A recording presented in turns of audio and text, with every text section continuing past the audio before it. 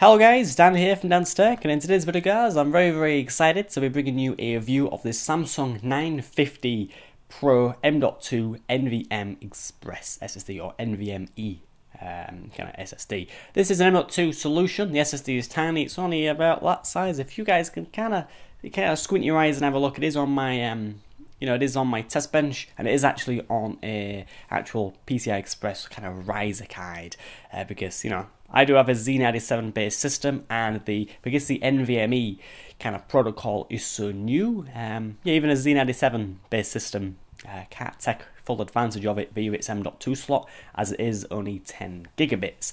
Now, I saw the guys over at NCIX review this SSD, and I was very, very disappointed in the review because at the end, there was kind of like, oh yeah, well, don't never ever trust the, the rated speeds, and yes, it, it was like twice as slow or half the speed, same thing.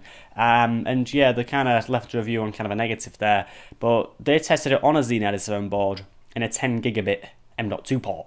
This is faster than 10 gigabit, a lot faster. So yeah, I, I don't know what they were doing, and um, yeah, natively this SSD is only supported actually on the new Skylake boards, uh, the Z is it Z170 or something like that. So yeah, it's only supported on them natively, and um, yeah, there we are. So I'm disappointed with the guys over at NCIX. I should use the brain a little bit more, do a little bit more research before they do their reviews. But nevertheless, I'm going to be bringing you a review, and hopefully my speeds are not kind of near the 700 to 800 megabytes per second. They're going to be around the 2.2 gig per second. So uh, yes, all good.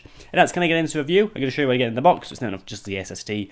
And then yeah, go over the installation, all the kind of stuff that you can install on the software that Samsung provide, and then yeah, show you guys the benchmarks because uh, this SD, this SSD is incredibly, incredibly fast. As always, let's get started with an unboxing. As the M.2 form factor of SSDs are very small, Samsung have indeed gone with a tiny black box of this product.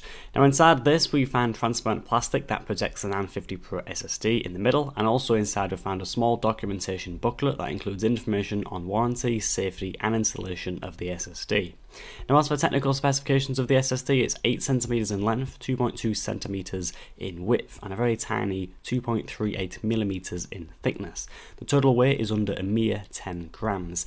Now the form factor is the most common M.2 form factor found, which is 2280, and the interface connectivity is PCIe 3 times 4, which the effective connection speed is 32 gigabits. As for the rated speeds of this SSD, the 512GB version is rated at 2500 MB per second read and 1500 MB per second write, and the 256GB model we have here today is a tad slower on the reads at 2200 MB per second, and the writes being 600 MB slower at 900 MB per second, still very fast. The estimated power consumption is 5.7 watts for the half a terabyte model and 5.1 1 watts with the quarter terabyte model. As for vibration and shock tolerances for the drive, the vibration is a constant 20 Gs, and as for the shock uh, uh, from a drop or say a fall, the tolerance is up to 1500 Gs for less than 0.5 seconds. Onto the installation of this drive, I'm going to demonstrate plugging the device into a standard M.2 port on my own Z97 motherboard and also into a PCI Express times 4 expansion card. Now as I have an Intel Z97 based motherboard, and even though this is only a couple of years old, this does only natively support SATA M.2 drives, and doesn't natively support the PCI Express NVMe drives. The M.2 port on my board is only 10 gigabits per second, and this Samsung drive needs at least 20 gigabits of bandwidth to even perform close to the 2 gigabytes per second. The expansion card I've picked up does support speeds of up to 32 gigabits per second, so we should be all good there. To install this SSD into an M.2 port, you simply need to remove the screw from the M.2 port on your motherboard, then slide the SSD in at an angle of 45 degrees. Now once you've done this, you can screw the SSD into place with the screw, nice and simple. Now also installing the SSD onto a PCI Express card, follow the same instructions, but be sure to plug this into the PCI Express times 4 or higher port on your motherboard. Relatively simple stuff. Once you've installed the drive, you want to boot up your PC and install the PCI Express driver that Samsung have provided for download on their website and then reboot your machine again. Now the device should be recognized now in the device manager and therefore means you can activate the disk and then use it as normal. After this has been done, you can get installing the two pieces of software that Samsung provide if wanted. The first piece of software is the Samsung Magician, a nifty tool that can run disk benchmarks as well as give you many statistics regarding your SSD's health and also performance. In addition to this, they do also provide cloning software, the Samsung Data Migration. Now I personally use this piece of software when cloning my OS to the M.2 drive. The software was very easy to use and it did clone about 90 gig of OS files, yeah, of OS files to the M.2 drive within about 10 to 15 minutes, so it's all good there. Finally onto the speed benchmarks, first with the drive in the M.2 port on my motherboard and first with the software provided by Samsung, the SSD achieved 730 megabytes per second read and 811 write, and with the Atto benchmark 851 read and 703 write.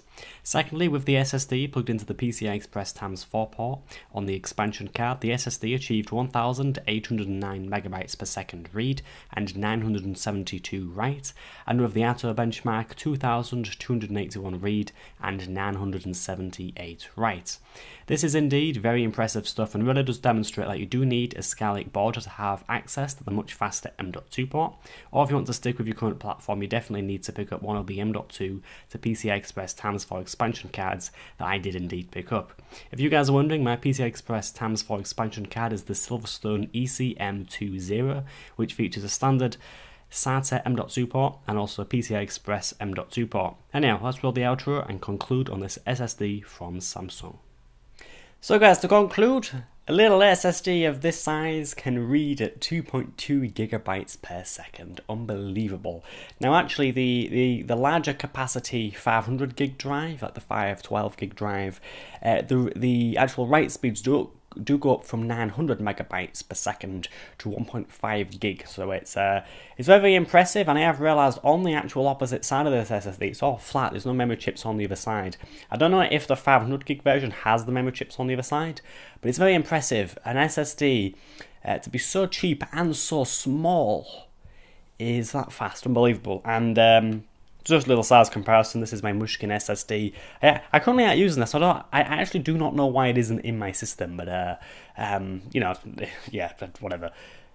Size comparison. This is um, standard 2.5 inch drive, and uh, there we are. Here's the Samsung one. Very, very, very, very impressive. If you guys have got a motherboard that supports this kind of technology, then pay a little bit extra to get a drive like this instead of say the conventional 2.5 inch and uh, yeah you'll, you'll just be so much happier.